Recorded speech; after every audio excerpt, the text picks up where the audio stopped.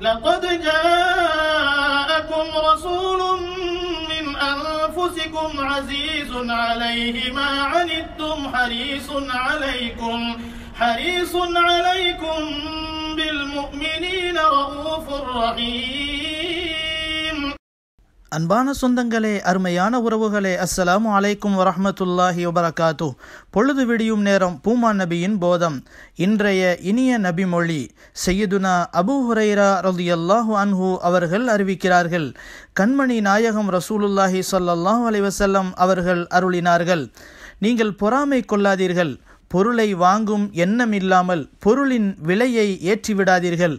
ஒருவர் மீது ஒருவர் கோபப்படாதீர்கள். புறக்கணிக்காதீர்கள். குறை பேசிக் கொள்ளாதீர்கள் உங்களில் ஒருவர் இன்னொருவர் வாங்கும் பொருளை விலை பேச வேண்டாம். நீங்கள் அல்லாஹ்வின் அடிமைகளாக சகோதரர்களாக ஆகிவிடுங்கள். ஒரு முஸ்லிம் மற்றொரு முஸ்லிமின் சகோதரன் ஆவான். இவனுக்கு இந்த மனிதன் அநீதம் செய்ய மாட்டான்.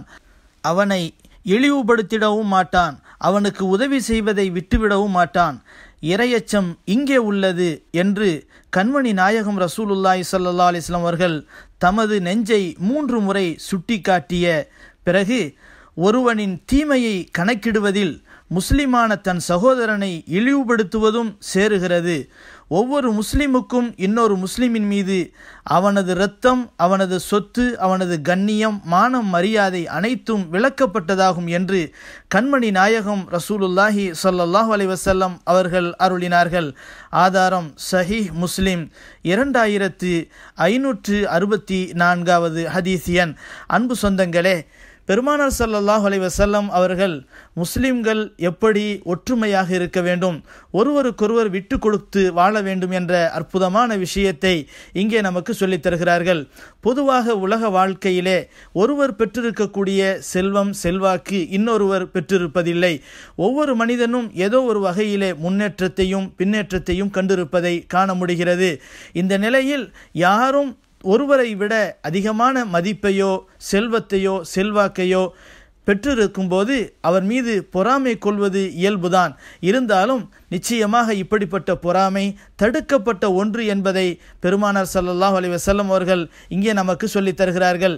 கண்மணி நாயகம் ரசூலுல்லாய் சல்லல்லாஹ் அலி வசல்லம் அவர்கள் சொல்லக்கூடிய இதன் மூலம் நாம் விளங்கிக் கொள்ள வேண்டிய விஷயம் என்னவென்றால் தனக்கு கிடைக்காத ஒன்று இன்னொரு சகோதரருக்கு கிடைக்கின்ற போது அது தனக்கு கிடைத்ததை போன்று மகிழ்ச்சி அடைய வேண்டும் என்ற அடிப்படையில்தான் இங்கே பொறாமை கொள்ள வேண்டாம் என்பதாக சல்லல்லாஹ் அலி வசல்லம் அவர்கள் சொல்லித் தருகிறார்கள். உலகத்திலே தான் மட்டுமே எல்லா விதமான மதிப்பையும் அந்தஸ்தையும் அடைய வேண்டும் என்ற எண்ணத்திலே குறிக்கோளிலே ஒரு ஒருவர் பெற்றிருக்கக்கூடிய செல்வத்தை தாம் அடைய வேண்டும் என்ற எண்ணத்திலே அவர் பேசுகின்ற வியாபாரத்தை தான் குறுக்கிட்டு பேசக்கூடாது என்ற அழகான ஒரு அற்புதமான போதனையை கண்மணி நாயகம் சல்லல்லாஹ் அலை வசல்லம் அவர்கள் இங்கே சொல்லித் தருகிறார்கள்.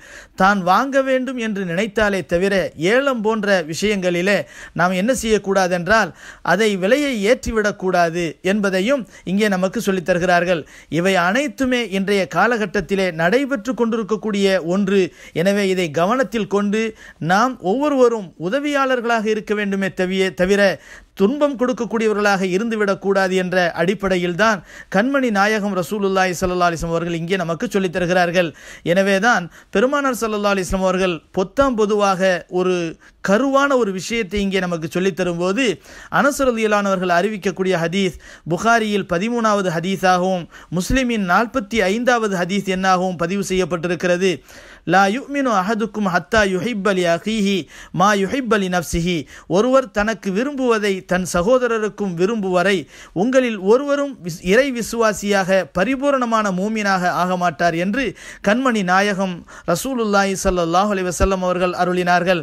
இந்த உலகத்தில் வாழுகின்ற போது நமக்கு விரும்புவதையே பிற மனிதர்களுக்கும் விரும்புவது ஒரு முஸ்லிமினுடைய உண்மையான தன்மை என்பதை இந்த ஹதீஸின் மூலமாக நமக்கு சல்லல்லாஹ் அலி வசல்லம் அவர்கள் சொல்லித் தருகிறார்கள்.